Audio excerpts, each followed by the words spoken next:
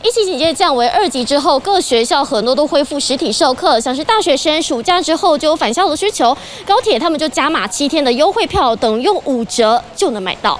不让大学生没车搭，二号凌晨开卖，九月九号到十五号北上南下，每天早上各两班，加码的是返校五折优惠票，还没抢的手脚要快，但中秋连假就怕越能吃紧，九月七号后严令双铁取消降载。我觉得应该班次要多一点了，对，然后其实就是。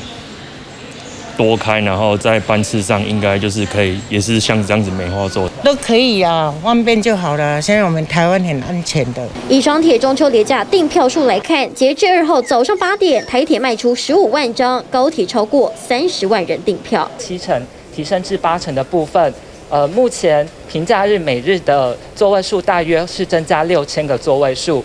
那在中秋连续假期九月十七号到九月二十二号。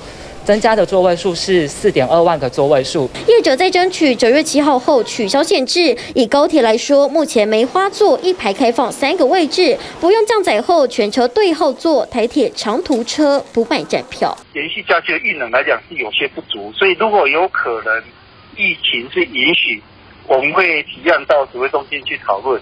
那可不可以再？开放，那由指挥中心来决定。严你放宽，但车厢饮食目前还是被禁止。中秋连假不止大众运输戒备，国道车潮被预估塞到爆，国五行车时间拉长到七倍，部分车速低于四十公里。开学后市区车流也明显变多，就像回到三级警戒前，上下班又得在车上耗时间。TVB 新闻中的黄静莹特别报道，请订阅、按赞、分享 TVBS News 频道，并开启小铃铛，也请用手机下载 TVBS 新闻 App，随时掌握国内外大事。